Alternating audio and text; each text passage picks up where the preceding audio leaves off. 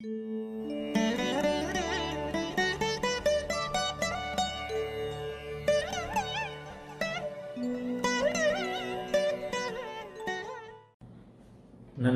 வணக்கம். எல்லோரும் நன்றாக இருப்பீர்கள்.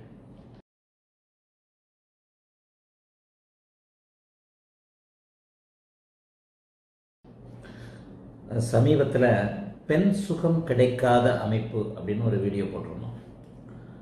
ஒரு ஆணுக்கு எனக்கு நன்கு தெரிந்த ஒரு ஆணுக்கு. ஆயிரத்தி தொள்ளாயிரத்தி எழுபத்தி மூன்றில் பிறந்தவர். நாற்பத்தி ஏழு வயதாகிறது. இது வரைக்குமே அவருக்கு பெண் என்றால் என்னவென்றே ஒரு தெரியாத ஒரு நிலையில் இருக்கிறார். திருமணமாகலை அதை விட பிரம்மச்சாரியத்தோடு இருக்கிறார் அப்படின்றதுக்கெல்லாம் சில இதை போட்டிருந்தோம். அதில் நிறைய சந்தேகங்கள். அந்த வீடியோவில் ஏகப்பட்ட சந்தேக அமைப்புகள் வந்துருச்சு. ஆக அந்த வீடியோவில் அதோடைய ஃபாலோவராக தான் இப்போ அந்த வீடியோ போடுறேன். இப்போது ஒரு ரெண்டு ரெண்டு ஜாதகங்கள் கொடுக்க போகிறேன். அந்த பெண் சுகம் கிடைக்காத அமைப்பில் கொடுத்த இதை போலவே இன்னொரு நாற்பத்தொம்பது ஐம்பது வயது ஆண் இதுவரைக்கும் பெண் என்றால் என்னவென்றே தெரியாத ஒருவருடைய ஜாதக அமைப்பு. அதே மாதிரி நாற்பது வயதாகியும் ஏற்கனவே திருமணம் நடந்து ஒரு ரெண்டு மாதத்தில் தாம்பத்திய சுகம் கிடைக்காம ஒரு நாற்பது வயது பெண்ணுடைய ஜாதகம் அடுத்தடுத்து வரப்போகிறது. ஒரு பாவகம் அடிக்கடி சொல்லுகிறேன். ஒரு பாவகம் காரகம் இரண்டும் வலுவிழந்தால் வலுவிழந்த தன்மைக்கு ஏற்றாற் போல. பாவகமும் காரகமும் வலுவிழந்திருக்கின்ற இல்லை அந்த பாவக காரக விஷயங்கள் வலுவிழந்திருக்கின்ற அமைப்பில் வந்து நிச்சயமாக உங்களுக்கு நல்ல பலன்கள் நடக்காது அப்படின்றத அடிக்கடி சொல்கிறேன் அப்போ சுக்கிரன் வந்து காமத்திற்கு அதிபதியான கிரகம். ஏழாம் பாவகமும் காமத்திற்கு அதிபதியான சுக்கிரனும் ஏழாம் பாவகாதிபதியும். அந்த ஏழாம் பாவகாதிபதியும் வலுவிழந்திருக்கின்ற நிலைகளில் நிச்சயமாக ஒருவருக்கு காரகம் ஆதிபத்தியம்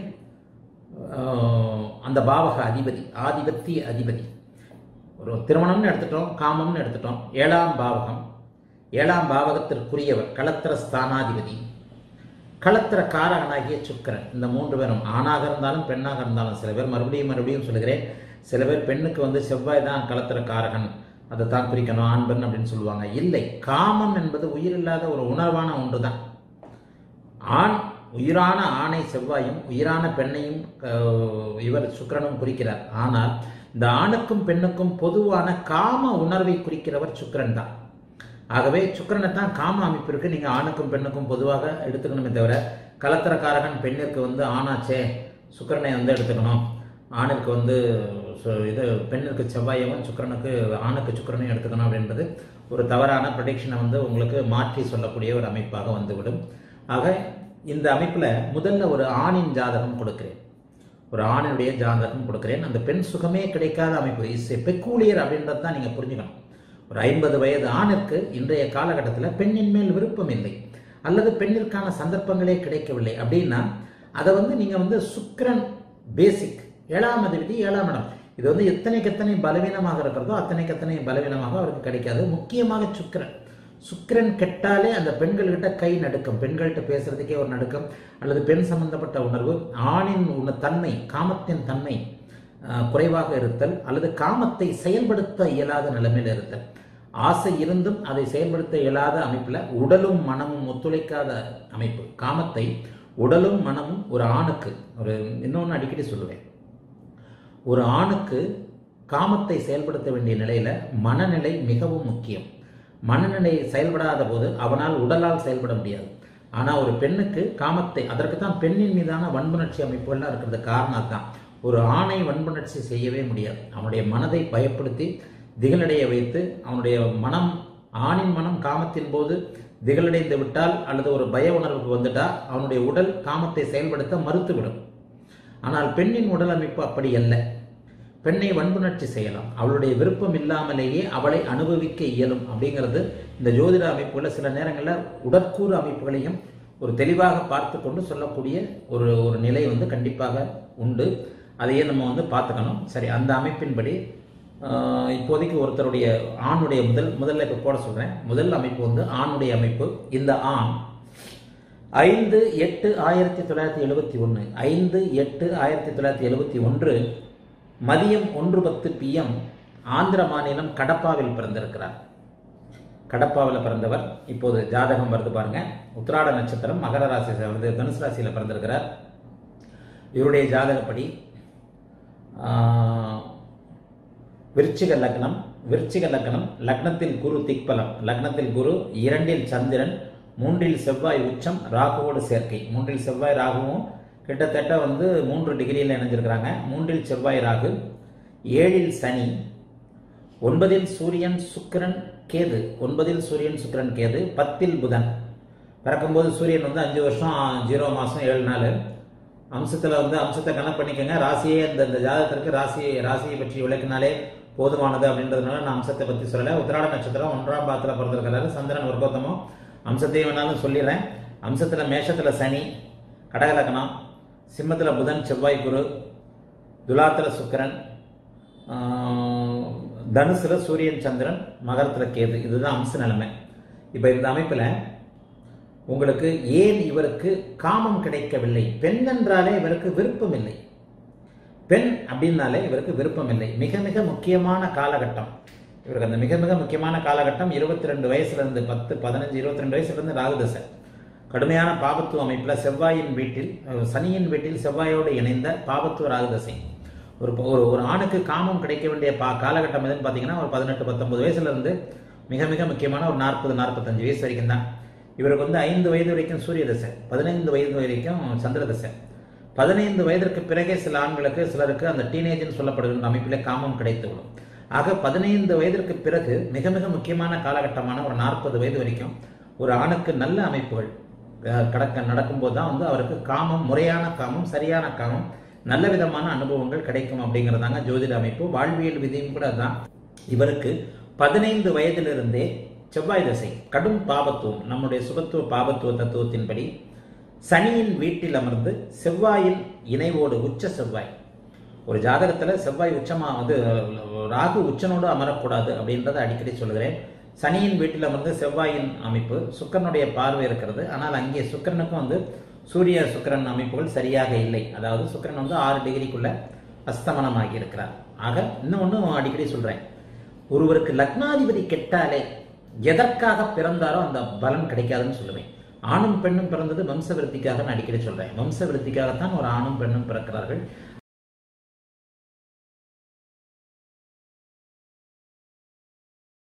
ஆணும் பெண்ணும் வாழ்க்கையில் திருமணத்தில் இணைய வைக்கிறதே புத்திரபாக்கியத்திற்காகத்தான். அங்கே இங்கே பாருங்கள் அந்த அமைப்பு காமம் அமைப்பு புத்திரபாக்கிய அமைப்பு அத்தனையுமே வந்து கிட்டத்தட்ட ஒரு இதான நிலைமையில் இருக்குது. புத்திர கா காரகனும் புத்திர ஸ்தானாதிபதியுமாகிய சனி குரு வந்து சனியால் மிக மிக இந்த அமைப்பில் பார்க்கப்படுகிறார். ஆக அதுவும் சனி பார்த்த அமைப்பும் சரியில்லை. சரி இந்த அமைப்பின்படி லக்னாதிபதி கெட்டு போனார். அது ஒரு பேசிக் லக்னாதிபதி கேட்டாலே வாழ்க்கையின் அடிப்படை தேவைகள் கிடைக்காதுன்னு அடிக்கடி சொல்லுவேன். நீங்கள் எதுக்காக பிறந்தீங்களோ அது நடக்காது. அது அந்த நோக்கிய இலக்கு நோக்கிய பயணம் உங்களுக்கு இருக்கவே இருக்காது. இங்கே லக்னாதிபதி எந்த விதமான இதுவும் இல்லாமல் வக்கரமாக்கி ராகுவோடு மூன்று டிகிரியில் சேர்ந்துட்டார். சரி இப்போ நம்ம எடுத்துக்கொண்ட சப்ஜெக்ட் காமம் ஏன் இவருக்கு கிடைக்கவில்லை? லக்னாதிபதி கெட்டு போனாலும் ஏதாவது ஒரு நிலையில் மற்ற பாவகங்கள் வலுவாக இருந்தால் அவருக்கு காமம் கிடைக்க வேண்டும் அப்படிங்கிறது ஒரு விதி. அந்த அமைப்பில் இவருக்கு லக்னாதிபதி கெட்டாலும் காமம் கிடைக்க வேண்டும் இல்லையா? ஏன் கிடைக்கவில்லை அப்படின்னு பார்க்க போனால் ஏழாம் இடத்துல சனி. ஏழாம் அதிபதி களத்திர காரகனும் அவர் தான் களத்திர ஸ்தானாதிபதியும் தான் இந்த சனிக்கு குறுபார்வை இருக்கிறது. சனிக்கு குறுபார்வை இருந்தாலும் சில நிலைகளில் இங்கே பாருங்க ரிஷபத்தில் சனி வந்து ஒரு எட்டு டிகிரி விலகி இருக்கிறாரு. ஆனாலும் சனிக்கு இங்கே குறுபார்வை இருக்கிறது. ஆயினும் காரகன் வந்து கடுமையான வலுவிழந்து லக்னாதிபதி கெட்டதால் திருப்பி திருப்பி ஒவ்வொரு பாயிண்ட்டுக்கும் லக்னாதிபதிக்கு வர்றதுக்கான இது இங்கே புரியும். லக்னாதிபதி கெட்டு. மூன்று டிகிரிக்குள் சமரசம் இல்லாமல் கெட்டு கடும் பாவத்துவமாகி லக்னாதிபதி கடும் பாவத்துவமாகி அங்கே சுக்கிரன் அஸ்தமனமாகி இருக்கிறார். ராகு கேதுக்களுடன் இணைந்திருக்கிறார். எந்த ஒரு கிரகம் செவ்வாய் சனி ராகுவோடு இணைகிறதோ அந்த கிரகம் தன்னுடைய காரக ஆதிபத்தியத்தை தரும் அமைப்பை இழக்கும் அப்படின்னு ஒரு விதி சொல்றேன் இல்லையா? ஒரு கிரகம் காரக ஆதிபத்திய விஷயத்தை தரும் விஷயத்துல கடுமையான பாவத்துவத்தில் இருக்கும்போது இலக்கம்னு சொல்லிடுறேன் இல்லையா? அப்போ இவருடைய ஜாதக அமைப்புப்படி பார்த்தீர்களே ஆனால் ஐம்பது வயதாகிறது. இதுவரைக்கும் பெண் என்றால் என்னவென்றே தெரியாத அமைப்பு. பெண்களை பற்றிய இதே பெண்ணுனாலே குச்சம் பயம் தயக்கம். பெண்கள் சம்மந்தப்பட்ட விஷயங்களை பேசுவதற்கே தயக்கம். அப்படிப்பட்ட ஒரு டைப் இவர். அப்போ இவருக்கு என்ன நடக்குது? இன்னொன்று ஏன் இதை இப்படி சொல்கிறேன்னா இந்த மாதிரியான ஜாதகர்களுக்கு இளம் வயதிலேயே பெண்ணை பற்றிய ஒரு நெகட்டிவான எண்ணங்கள் நெகட்டிவான அமைப்புகள் அவர்களுக்கு இளம் வயதிலேயே அடு வந்திருக்கும். சைக்காலஜியாக அவங்கள வந்து கவுன்சிலிங்லாம் கூட்டு போனோம்னா அவர்களுடைய ஆழ் மனதில் இது வந்து வெளிப்படும். ஒரு மிக மிக முக்கியமாக பெண் துணை தேவைப்படுகின்ற பெண் ஆர்வம் அமைப்புல என்ன நடக்கும் அப்படின்னு சொன்னால் அந்த நேரத்தில் ஒரு நெகட்டிவான அமைப்பு நடந்திருக்கும். அல்லது அவர்களுடைய காம ஆரம்பத்தின் முதல் முயற்சி மிக கசப்பானதாக ஒரு ஒரு வடுவா அமைப்பாக இருக்கும். அவருடைய காமத ஆரம்பத்தின் முதல் முயற்சி படு தோல்வியாக இருந்து ஒரு ஹர்ட் பண்ணப்படுகின்ற ஒரு வேதனை அமைப்பாக இருக்கும் அவங்களுக்கு. அப்போ ஒரு காம ஆரம்பத்திலேயே அப்போ அந்த முதல் முயற்சி அவங்களுக்கு கடுமையாக இதான ஒரு அமைப்பு கெட்டு போய் சுத்தமாக வந்து அவங்களுக்கு எதுவுமே இல்லை அப்படிங்கிற மாதிரியான ஒரு அமைப்பு இருக்கும். அந்த நேரத்தில் அவங்க மனதளவில் கெட்டு போய் மனதளவில் கடுமையாக பாதிக்கப்பட்டிருப்பாங்க. அப்போ மனதளவில் கடுமையாக பாதிக்கப்பட்டிருந்தார்கள் என்றால் அவர்களுக்கு வந்து அது அப்படியே தொடர்ச்சியாக அவர்கள் அறியாமலே அது மனதில் விழுந்து நான் இதற்கு தய தகுதியானவனாக இல்லை அல்லது நான் இதற்கு தயாரானவனாக இல்லை. ஒன்று நான் தகுதி இல்லை அல்லது எனக்கு இது தேவையில்லை அப்படின்ற மாதிரியான காமம் மறுக்கப்படும் அல்லது காமத்தில் ஆர்வம் இல்லாத நிலைமையில வந்துருவார் அப்படிங்கறத அடிக்கடி சொல்லியிருக்கிறேன். அதற்காகத்தான் முன்னாடியே பெண் சுகம் கிடைக்காத அமைப்புன்னு ஒன்று போட்டோம். அதற்கு அடுத்த தோ- அதுல ஏற்பட்ட சந்தேகங்களுக்காக விளக்கம் இந்த ஜாதகம். ஆக இந்த அமைப்புல பாத்தீங்கன்னா சுக்கரனை பாவத்துவமான செவ்வாய் பார்க்கிறார். சுக்கிரனை பாவத்துவம் பெற்ற செவ்வாய் உச்ச செவ்வாய் பார்க்கிறார். இன்னொன்று சனி பார்க்கிறார். மூன்றாம் பார்வையாக அந்த சனி பார்க்கிறார். சனியும் பார்க்கக்கூடாது சுக்கிரனும் பார்க்கக்கூடாது. சனி செவ்வாய் இருவரும் பார்த்து தொடர்பு கொண்டு ராகு கேதுக்களோடு சுக்கிரன் தொடர்பில் இருக்கிறார். ஆக நான் இங்கே சொன்ன மூன்று பாவர்களுடைய அமைப்புகள் அப்படியே வந்துடுது. சனி செவ்வாயோடு அவர் இணைந்து ராகு கேதுக்களோடு இருக்கிறதுனால கடுமையான பாவத்துவ அமைப்பு இங்கே வந்து சுக்கரனுக்கு வந்து விடுகிறது. அவரே ஏழாம் பாவகாதிபதியாக இருக்கிறார். ஏழாம் இடத்துல சனி இருக்கிறார். இது போன்ற அமைப்புகள்ல அடுத்தடுத்து நடக்கின்ற தசாபக்தி அமைப்புகளும் வாழ்க்கையின் மிக மிக முக்கியமான காலகட்டத்தில் ராகதசை நடந்தது. அடுத்து இப்போது குருதசை இந்த குருதசையும் சனியும். சனி தான் சுபத்துவமே தவிர குரு பாவத்துவம் தான். குருவார்த்த சனி நல்ல பலன்களை தருவார். ஆனால் சனி பார்த்த குரு தீய பலன்களை தருவார். ஆக அந்த அமைப்புல இவருக்கு திருமண அமைப்புகளே இல்லை அப்படின்னாலும் திருமணத்தில் அவருக்கு ஆர்வமும் இல்லை திருமணம் அவர் பண்ணிக்கவும் போறதில்லை. திருமணம் என்பதை விட பெண்ணின் மீதே ஈர்ப்பு இல்லாத ஒரு ஜாதகம். பெண்ணின் எனக்கே வேண்டாம். எனக்கு கிடைக்கலன்றதை விட எனக்கு வேண்டவே வேண்டாம் அப்படிங்கிற ஒரு ஜாதகம். அதற்காகத்தான் இதை உதாரணமாக சொன்னேன். இவருக்கு வாழ்நாள் முழுக்க அந்த பெண்ணோட பெண் மேலான ஆசை அமைப்புகள் நிச்சயமாக கிடையாது. அதை விட வந்து அந்த குருசனி பார்வை வந்து ஆன்மீகத்தை கொடுக்கும்னு அடிக்கடி சொல்லியிருக்கிறேன். குருசனியின் நேருக்கு நேர் இந்த இது போன்றவர்கள் பெண்ணின் மீதுள்ள ஆர்வ குறைபாட்டை வெளிக்காட்டிக் கொள்வதற்கு பதிலாக ஆன்மீகத்தில் ஆர்வம் இருப்பவர்களாக இருப்பார்கள் அல்லது இதன் காரணமாக ஆன்மீகத்தில் விருப்பம் இருப்பதைப் போல காட்டிக் கொள்வார்கள். உளவியல் ரீதியாகவும் ஜோதிடத்தை அணுகணும். உளவியல் ரீதியாகவும் ஜோதிடத்தை அணுக வேண்டும். அந்த ரீதியில பார்த்துட்டீங்க அப்படின்னு சொன்னா இது போன்றவர்கள் அந்த குருசனி தொடர்பு குருசனி கேது தொடர்பு இருக்கும்போது சனியை முன் கேதுவை சனி மூன்றாம் பார்வையாக பார்க்கிறார். குருவும் சனியும் கேதுவை பார்க்கிறார்கள். அவர்கள் லக்னத்தோடு தொடர்பு கொண்டு இருக்கிறார்கள் அப்போ அவர் அவருக்கு என்ன? தன்னுடைய இயலாமையை வேறு விதமாக அவர் சமரசம் செய்வார். எனக்கு இதில் ஆர்வம் இல்லை. என்னோடது ஆன்மீக ஆர்வம் அப்படின்னு கொண்டு போயிடுவார். அந்த அமைப்பு இப்போது இவருக்கு இருக்கிறது. ஆகவே இவருடைய ஜாதகம் ஒரு ஆன்மீகத்திற்கும் இதாக சொல்லலாம். அதை விட முக்கியமாக ஐம்பது வயசு வரைக்கும் அவருக்கு பெண் அமைப்புகள் இல்லை. கல்யாணம் ஆகலை. பெண் அமைப்புல ஆர்வம் இல்லை. அதை பற்றி அவர் யோசிக்கவும் இல்லை. திருமணம் செய்ய வருபவர்களையும் அவர் தடுத்து விட்டார். அடுத்து அப்படியே இன்னொரு பெண்ணிற்கு வந்து விடுவோம். ஒரு நாற்பது வயது பெண். திருமணமாகி இரண்டு மாதங்களில் மனமுறிவு. ஆரோக்கிய குறைவு தாம்பத்திய சுக அமைப்பே இல்லை. அந்த இரண்டு மாதங்களிலும் அவருக்கு தாம்பத்தியம் கிடைக்கவில்லை. ஏன்னா திருமணம் ஆன அவருடைய உடல்நல குறைவின் காரணமாக ஒரு சரிய ஒரு சின்ன இது வந்து அப்புறம் அவங்க டிவோர்ஸ் ஆகி இப்போ அவர் பதினொன்றாம் இடம் வளர்த்துருக்கிறதுனால அவருடைய மூத்த அண்ணன் தங்கையை தனக்கு பிறகு என்ன செய்வது அப்படிங்கிற ஒரு அமைப்பில் அவர் யோசிச்சுட்டு இருக்கிறாரு. ஆக இந்த அமைப்பின்படி இவருடைய இது எப்படின்னு பார்ப்போம். இப்போ இவருடைய ஜாதக கட்டம் ஸ்க்ரீனில் வரும் பாருங்க. இவர் பெண் சென்னையில் பிறந்திருக்கிறார். இருபத்தி ஐந்து ரெண்டு ஆயிரத்தி தொள்ளாயிரத்தி எண்பது. எட்டு நாற்பது இரவு. சென்னையில் பிறந்திருக்கிறார். இவருடைய ஜாதகம் இப்போது கட்டம் வரும். பாருங்க கன்னியா லக்னம்.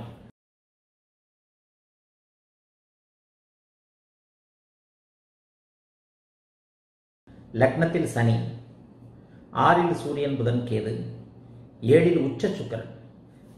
இந்த இந்த- பாவத்துவ அமைப்புகளில் இந்த உச்ச சுக்கரன் அதை அதுக்காகத்தான் இந்த இந்த ஜாதகங்களை உதாரணமாக காட்ட எடுத்தேன். ஏழில் உச்ச சுக்கிரன் பத்தில் சந்திரன். பத்தில் சந்திரன் பனிரெண்டில் செவ்வாய் குரு ராகு. பனிரெண்டில் செவ்வாய் குரு ராகு. அம்சத்தை பிறக்கும் போதே வந்து திருவாதிரை நட்சத்திரம் ராகுதச பேலன்ஸு சரி இப்போ இங்கே பார்த்தீங்கன்னா அம்சத்தையும் சொல்லிடுறேன். அம்சத்தும் வந்து ஏன்னா அம்சத்தில் நான் சுபத்துவ அமைப்புகளை எடுப்பேன். அது அதுக்காக உங்களுக்கு அம்சத்தையும் சொல்லிடுறேன். அம்சத்தில் மிதுன லக்னம் லக்னத்தில் புதன் இரண்டில் செவ்வாய் கேது செவ்வாய் குரு இரண்டில் செவ்வாய் குரு ஆறில் கேது. அம்சத்தில் நம்பர் கிடையாது உங்களுக்காக தான் சொல்கிறேன் எட்டில் சூரியன் சனி ஒன்பதில் சந்திரன் சுக்கிரன் பன்னிரெண்டில் ராகு. இதுதான் இவருடைய அம்ச நிலைமை. சரி இந்த ஆணிற்கு சொன்ன அதே விதிகள் இங்கே இந்த பெண்ணிற்கு பொருந்துவதை. தாம்பத்திய சுகம் மறுக்கப்படுவதை. அவருக்கு ஆர்வம் இல்லை இவருக்கு மறுக்கப்படுகிறது. ஆணுக்கு ஆர்வம் சுத்தமாக இல்லை பெண்ணிற்கு இங்கே தாம்பத்திய சுகம் மறுக்கப்படுகிறது. தம்பத்திய சுகம் மறுக்கப்பட்டு திருமணமாகி ரெண்டு மாதத்தில் வந்து டிவோர்ஸ் அமைப்புக்கு வந்துருச்சு. இப்போ நாற்பது வயது. சரி இங்கே பார்த்தீங்கன்னா ஏழாம் இடம் கலத்திர காரகம் கலத்திர ஸ்தானாதிபதி கலத்திர பாவகம் எல்லாம் கெட்டு போகணும்னு சொன்னேன். ஏழாம் இடத்ததிபதி குரு. ஏழாம் இடத்ததிபதி குரு பன்னிரெண்டில் மறைந்து திக்பலத்துக்கு அருகில் இருக்கிறார் பன்னெண்டில் இருக்கிறது நல்லதுன்னு சொல்லுவேன். ஆனால் இங்கே பாவத்துவத்தோடு இருக்கிறார். இதில் ஒன்று குறிப்பாக பார்த்தீங்கன்னா குருவும் வியாழனுமே பக்கத்து பக்கத்து டிகிரியில் இருக்கிற மாதிரி தெரிஞ்சாலும் ஒரு இருபது டிகிரியில் சனி கூட இருப்பார். சனியும் ஒரு டிகிரியில் தான் இருப்பார். ஆக இந்த அமைப்பில் பார்த்தீர்களேயானால் ஏழாம் பாவகத்திற்கு கணவனை குறிக்கின்ற காமத்தை குறிக்கின்ற தாம்பத்திய சுகத்தை அனுபவிக்கின்ற அமைப்பை குறிக்கின்ற ஏழாம் பாவகத்திற்கு ஏழாம் பாவகத்தை சனி தன்னுடைய ஏழாம் பார்வையாக பார்க்கிறார். செவ்வாய் தன்னுடைய எட்டாம் பார்வையாக பார்க்கிறார். இந்த சனி செவ்வாய் இருவருமே கடுமையான பாவத்துவத்தை ராகுவால் அடைந்திருக்கிறார்கள். ராகுவுக்கு ஏழு டிகிரிக்குள்ள செவ்வாய் ராகுவிற்கு ஆறு டிகிரிக்குள்ள குரு. ஏழாம் பாவகாதிபதி பனிரெண்டில் மறைய உபய லக்னங்களுக்கு ஆறு எட்டு பன்னெண்டுல மறைஞ்சா நல்லதுன்னுமே நல்லது உண்மையில. ஆனால் அவர் இங்கே பாபத்துவமாக இருக்கக்கூடாது. இங்கே பன்னெண்டுல மறைஞ்சது நல்லது. தாமத திருமணமாக நடந்திருக்க வேண்டும். ஆனால் நல்ல வாழ்க்கை அமைந்திருக்க வேண்டும். ஆனால் அங்கே ஏழாம் பாவகாதிபதி கலத்திர ஸ்தானாதிபதியாகிய குரு பனிரெண்டில் மறைந்து செவ்வாய் சனி ராகுவோடு இணைஞ்சிட்டார். ஒரு காரகம் ஒரு காரகம் ஆதிபத்தியம் கெடுதுன்னு அந்த செவ்வாய் சனி ராகு கம்ப்ளீட்டாக வந்திருக்கு பாருங்க. பாவத்துவத்தை புரிந்து கொள்வதற்கான அருமையான அமைப்புகள். பாவத்துவத்தை புரிந்து கொள்வதற்கான அருமையான அமைப்புகள். சுபத்துவத்திற்கு குரு சுக்கரன் வளர்பறை சந்திரன் சுப பா- தனித்த புதன் சொல்லிடுறேன். பாவத்துவத்திற்கு செவ்வாய் சனி ராகு சொல்றேன். எப்போது ஒரு பாவகத்தோடு ஒரு ஆதிபத்தியத்தோடு ஒரு கிரகத்தோடு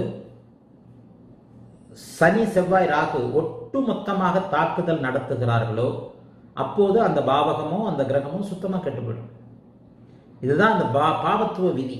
இந்த அமைப்பின்படி இந்த பெண்ணிற்கு சரியான வயதில் திருமணமாகி ரெண்டு மாதத்திலேயே பிரிவு ஆரோக்கிய குறைவால் பிரிவு.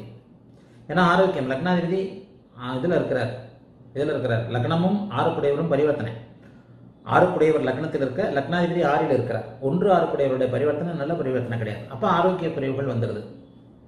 ஆரோக்கிய குறைவுகள். பதினொன்றாம் இடம் தான் வலுத்திருக்கு. அப்போ அண்ணன் மூத்தவருடைய ஆதரவில் இருப்பார். பதினொன்றாம் இடம் பதினொன்றாம் அதிபதி வளர்பறை சந்திரனாகி பத்தாவது கேந்திரத்தில் இருக்கிறார். அது ஒரு மிக நல்ல அமைப்பு. பதினொன்றாம் இடம் எவருடைய கெட்ட பார்வையும் இல்லாமல் இருக்கிறது. ஆக அண்ணனுடைய ஆதரவில் இருக்கிறார். ஆக இந்த அமைப்பில் ஒன்று ஆறுக்குடையவர்கள் பரிவர்த்தனை. போன ஆணின் ஜாதகத்தில் சொன்னதைப் போலவே இங்கே லக்னாதிபதி நேர்முகமாக கெட்டு பின்பு மறைமுகமாக உச்சனாகி வலிமை அடைகிறார் எப்போ லக்னாதிபதி கட்டாலும் நாற்பது நாற்பத்தி மூணு வயசு வரைக்கும் நல்ல பலன் இல்லைன்னு சொல்லிடணும். பின் வாழ்க்கை ஓரளவுக்கு நன்றாக இருக்கும். மறைந்து வலுவில் மறுபடியும் வலுவானா? இங்கே பெண்ணின் ஜாதகம் அதே ஆணின் ஜாதகத்தில் இங்கே லக்னாதிபதி சுத்தமாகவே வலுவிழந்து போனார். மறைமுகமான வலுலாம் இல்லை. அதனால தான் அவருக்கு வாழ் ஆயுள் முழுக்க திருமணம் இல்லை. இப்போ இங்கே இந்த பெண்ணின் ஜாதகத்தில் லக்னாதிபதி நேரடியாக கெட்டிருப்பதைப் போல ஆறில் மறைந்திருப்பதைப் போல தெரிந்தாலும் அதன் பிறகு பரிவர்த்தனையாக இருக்கிறனால நாற்பது வயதிற்கு பிறகு பின்பகுதி வாழ்க்கையில ஒரு நேர்மையான ஒரு ஹானஸ்டான வாழ்க்கை கண்டிப்பாக அவருக்கு அமைந்தே தீர வேண்டும். ஆனால் அந்த வாழ்க்கை தாம்பத்திய சுகத்தை தாண்டியதாக இருக்கும். நாற்பது வயதிற்கு பிறகு தாம்பத்திய சுகத்திற்கு உடலே தகுதி இழந்து விடுகிறது. நாற்பது வயதிற்கு பிறகு ஒரு பெண்ணிற்கு உடலே தாம்பத்தியத்திற்கு ஆர்வத்தையும் இழந்து உடல் தாம்பத்தியம் பெரும் தரும் அனுபவத்தை தகுதியை இழந்து விடுகிறது. நாற்பது வயதுக்கு பிறகு ஒரு பெண்ணிற்கு ஆக இப்பவே அவருக்கு நாற்பது வயதாயிடுச்சு.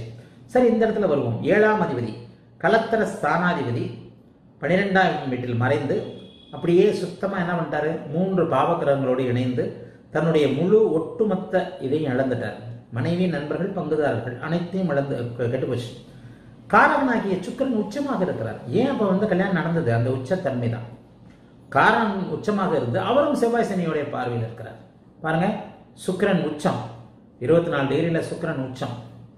அதே நேரத்தில் அவரை செவ்வாய் சனி இருவரும் பார்க்கிறார்கள். அங்கே ராகுவும் தொடர்பு கொண்டிருந்தால் அவருக்கு கல்யாணமே ஆயிருக்காது. ஆயினும் அந்த உச்சத்தன்மைக்கேற்ப ஏதேனும் ஒரு முக வ- வ- காமம் அவருக்கு தரப்பட்டிருக்கும். ஒரு சின்ன விஷயங்கள். அந்த ரெண்டு மாத திருமண விஷயங்கள்.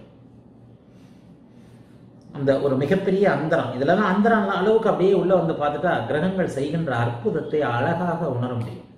அந்தரம் அளவிற்கு வந்து ஒரு துல்லிதமாக இது பண்ணும்போது அந்த ரெண்டு மாதம் திருமண காலத்துல அந்த என்ன நடந்தது அப்படின்றது தெளிவா அது அந்த உச்ச சுக்கரனுடைய விஷயம். உச்ச சுக்கிரனாக இருந்தாலும் அவருக்கு வந்து சனி செவ்வாய் அமைப்பு வந்துட்டதுனால அவருக்கு அந்த அமைப்பே இல்லை அப்படின்னு ஆயிடுது. இப்போ நாற்பது வயதுக்கு மேலே அண்ணனுக்கு வந்து ஒரு பயம் வருகிறது. தனக்கு பின்னால் தன்னுடைய தங்கையை என்ன இது? அவருக்கு ஒரு நேர்மையான வாழ்க்கை துணையை அமைச்சு கொடுக்கணுமே அப்படின்ற மாதிரியான அமைப்புகளில் இப்போ இது அமைய தான் செய்யும். ஆனால் அந்த காமத்திற்கு அப்பாற்பட்ட ஒரு கூட்டாளி வாழ்க்கையாக அமையும். இளமையில தான் காமத்திற்கு உட்பட்ட நல்ல கணவன் மனைவி வாழ்க்கை.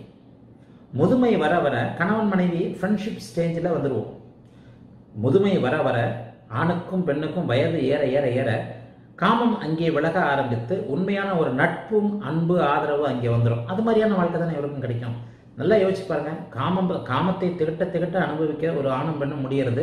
அந்த நாற்பத்தி ஐந்து ஐம்பது வயசு அது ஒவ்வொருடைய உடற்கூறு தகுதியை பொறுத்து. பெண்ணின் உடற்கூறும் இப்போ நான் சொன்ன மாதிரி நாற்பது வயதுகளுக்கு பிறகு தகுதி எழுந்து இழந்துருது.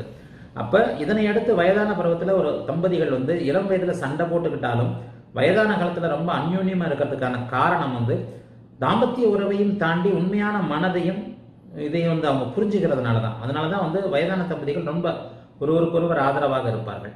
உனக்கு நான் எனக்கு நீ உன்னை விட்டா எனக்கு ஆள் கிடையாது என்னை விட்டா உனக்கு ஆள் கிடையாது அப்படின்ற அமைப்பு தான். இப்போ இந்த பெண்ணிற்கும் திருமண வாழ்க்கை நிச்சயமாக இருக்கும் சுக்கரன் உச்சமாக இருக்கிறனால மேம்போக்கான ஒரு நல்ல ஆண் ஆதரவு நல்ல ஆண் துணை அவருக்கு கணவன் என்ற வகையில் நிச்சயமாக உண்டு. ஆனால் அங்கே தாம்பத்திய சுக அமைப்புகள் அடிபட்டு போயிடும். ஏன்னா அவருக்கு நாற்பது வயதாயிடுச்சு. சுக்கரனை செவ்வாய் சனியராக பார்க்கிறார். அவரே உடல் ஆரோக்கிய அமைப்பில் கொஞ்சம் வீக்காக இருந்தார் வீக்காக இருப்பார். வரப்போகின்ற ஆணும் அவருக்கு தாம்பத்தியத்தை எதிர்பார்க்காமல் தன்னுடைய மனைவியாக ஒரு நல்ல வாழ்க்கை துணையாக இருந்தால் போரும் அப்படின்னு எதிர்பார்க்கக்கூடிய ஆணாகத்தான் இருப்பார். அப்படித்தான் இவருக்கும் வாழ்க்கை அமையும். ஆகவே இப்போது இந்த இருவேறு ஜாதகங்களை நான் விளக்கியது வந்து சுக்கிரன் ஏழாம் அதிபதி. ஏற்கனவே போட்டதில் வந்து பெண் சுகம் கிடைக்காத அமைப்புக்கு ஏகப்பட்ட கமெண்ட் போய் பாருங்கள் அப்போ அந்த அமைப்பிற்கு இன்னும் ஒரு விளக்கமாகத்தான் இதை இதை போட்டிருக்கிறேன். ஆக இந்த ஜாதக விளக்கத்தின்படி இந்த ஏழாம் பாவகம் சப்பு சுக்கிரன் எந்த நிலையில்? சுக்கரன் உச்சமாக இருக்கிறனால திருமணம் நடந்து முடிந்து இருக்கிறது. பதினொன்றாம் பாவகம் வலுக்கிறதுனால அண்ணன் கரெக்டாக இருக்கிறார். அண்ணன் தங்கைக்கு எடுத்து செய்கிறார். எத்தனை பேருக்கு அண்ணன் எடுத்து செய்கிறாரு முதல் திருமணத்தையே எடுத்து செய்கிறது இல்லை அப்புறம் என்ன? ரெண்டாவது திருமணத்தை எடுத்து செய்கிறது எத்தனை வயது எத்தனை பெண்களுடைய அண்ணன்கள் நாற்பது வயதிற்கு பிறகு எனக்கும் ஐம்பது வயது ஆகிடுச்சே நான் எனக்கு பிறகு என் தங்கை யாருடைய ஆதரவில் இருப்பாள் அப்படின்னு உண்மையான அக்கறையோடு எந்த அண்ணன் நினைக்கிறார்? அப்படி நினைக்கிறோம்னா பதினோராம் பாகம் வளர்த்துக்கணும் பதினோராம் பாவகத்தின் உயிர்காரகத்துவம் இரண்டு உயிர்காரகத்துவம் ஒன்று அண்ணன் இன்னொன்று ரெண்டாவது கணவர். அப்ப இங்க வலு வலுத்திருச்சா பதினொன்றாம் பாவகம்? பதினொன்றாம் பாவகாதிபதி வளர்புரை சந்திரநாயகி கேந்திரத்தில் இருக்கிறாரா? அப்ப அந்த கேந்திர அமைப்புக்கு அண்ணன் அண்ணன் வந்து கண்டிப்பாக இவருக்கு ஒரு குறிப்பிட்ட டைம் சொல்லியிருக்கிறேன் இரண்டாவது திருமணம் நடந்தே தீரும். ஆனால் அது காமத்திற்கு அப்பாற்பட்டதாக இருக்கும். இதுதான் ப்ரிடிக்ஷனு இதை புரிஞ்சுக்கிட்டாலே உங்களுக்கு வேறு வேறு சில விஷயங்கள்லாம் புரிஞ்சுக்கும். ஆகவே இன்னொரு வீடியோவில் அடுத்த வேறு வேறு சில விஷயங்களை பார்க்கலாம். வாழ்த்துக்கள். எல்லோரும் நன்றாக இருப்பீர்கள்.